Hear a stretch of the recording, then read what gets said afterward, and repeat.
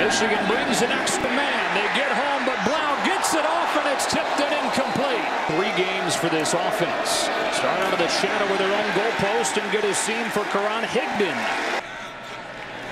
On first and ten, they go to the trick play back. David Blough trying to get away from Bush, but can't. Michigan had this one snuffed out with Chase Winovich finishing him off. For the running back. As he hands off the football, you can see when Worship pitches it back, Devin Bush has him in man-to-man -man coverage. O'Korn's first pass play lets it fly right on target for a first down.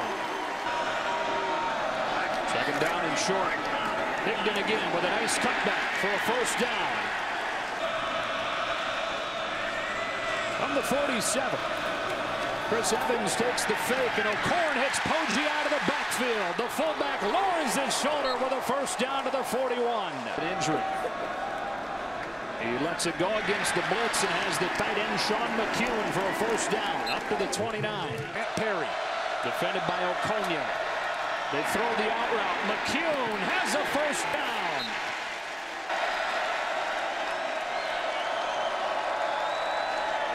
Play action. O'Korn deep drop. Hits the crossing tight end. Zach Gentry to the end zone. He's in. Touchdown, Michigan. Setup. So you're going to see number 83 work all the way across the field, and you get guys essentially running a rub route for him. That's why he was so wide open. The former quarterback turned tight end. He's able to get some separation and get it in the end zone. They're down 25, and a screen is absolutely blown up. Devin Bush having another fantastic game. So smart. I mean, just watch the way he's able to identify exactly what Purdue's doing. Now, this is a tendency for them. Third and long, clearly they like the wide receiver screens, and it hurt them in the previous drive. Through the formation, looking for their first third down conversion of the day. Sindelar put it on the deck and got it back.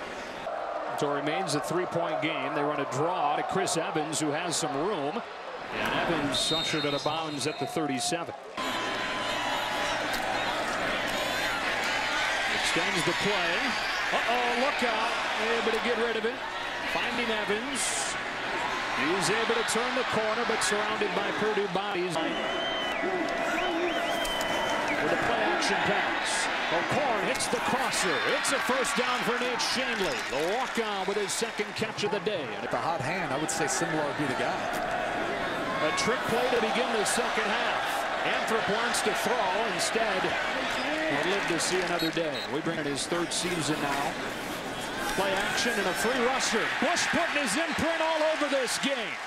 You look at his versatility. Watch when he reacts to this run. Right there in the middle of the defense, they've always got some type of pressure they like bringing. You could see them bring Noah Furbush across, and really that allows Devin Bush a clear lane to Sindelar.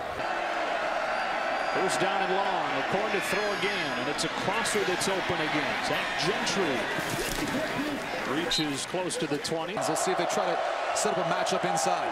Pressure coming. O'Korn in trouble. Stays on his feet. Tries to extend the play. A man comes free for a first down.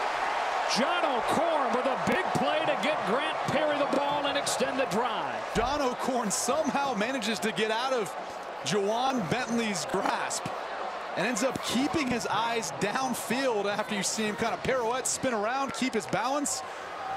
Look how he tucked the football and he got it back out to find Grant Perry. This has kind of been the story of the Purdue defense when they came into this game with only one sack. O'Korn has time. It's McKeon for a first down into Purdue territory. Again, I see him right on the left side of the screen. That's number 41. Thieneman matched up. Once he breaks across, gets a little bit of daylight, Thieneman loses his footing. Accurate football by John O'Korn. Looked like he was going there the entire way. The issue all year. They toss it to Evans. He bursts downhill for the touchdown. And Michigan jumps back in front. Actually, a flashback by the tight end. Watch McKeon. When he comes across, these guys flow as well, and it creates this gaping hole on the right side. Soft, soft toss pitch, and Evans takes the rest of the way. Big Isaac Zico in motion, and it's fumble. Sindelar able to hang on to it, but this game in this quarter. And another three and out, getting the ball to the offense at the 35. Where Corn steps away from pressure, throws on the move to Grant Perry. First down into Purdue territory. O'Korn has done in stepping up in the pocket and buying more time with his legs than really keeping his eyes downfield. You can see him just waiting for Grant Perry to get across the field once he found some room. And look at the eyes. Accurate football allows Grant Perry to catch and run for the big game.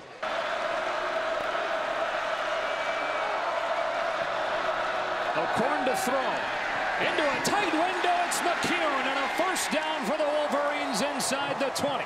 If catches on the day, he's going to work and find a little soft spot right there in the zone coverage of the Purdue defense. And what a tight window. The confidence, the moxie of John O'Korn, the backup quarterback coming in, slinging it now. All, all vulnerable on the back end. Off his back foot, floating run. What an adjustment for the catch by Zach Gentry. Against the run, and what about this catch by Gentry? The body control, to be able to catch the ball on the back shoulder, play in the backfield. Back to the ground and in for the touchdown. Isaac puts Michigan in front by two scores here in the fourth. Had the number wrong in the call. Hence lack of a reaction from the Michigan sideline. Corn in the boot, slips a tackler, and another, lowers the shoulder, right to the first down marker. Look at the effort and determination. John O'Korn, as he cuts it back inside, just shoves off Bailey and pushes downfield and then lowers the shoulder. That's his throwing shoulder. Yeah. Evans has a hold and stays on his feet and explodes. Chris Evans to the house. Touchdown, Michigan. To break it open with 6.46 left. This is just the power running game you like to see. TJ Jallow is going to have the one shot at it, but watch once Evans gets through the line of scrimmage. Onwenu hoping to kind of clear it out, but once Jallow misses, there's nothing but green grass. Oh, three-score game, 6.46 to go. David Blough stays in a quarterback and is ripped down by Chase Winovich. Third down, and Blough set. Purdue with an offer on third down today. Chase Winovich gets home with a fifth Michigan sack. Sit in the pocket.